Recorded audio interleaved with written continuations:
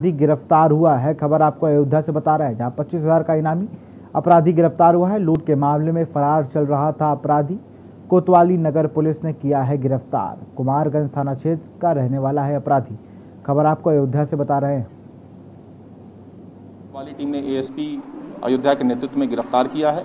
ये लूट के मामले में लंबे समय से वांछित था। एक अत्यंत ही शातिर अपराधी है। इसकी गिरफ्तारी के बाद जब इससे पूछताछ की गई है तो इसके अन्य साथियों के बारे में भी सूचना मिली है, जो एक्टिव हैं, उन पर भी हम आगे प्रभावी विधिक कार्रवाई करेंगे और इस तरह के अपराधों पर रोकथाम के लिए, इन, ऐसे अपराधियों के विरुद्ध जो कार्रवाई हुई है, इससे निश्चित तौर पे अपराधों में रोकथाम में मदद मिलेगी।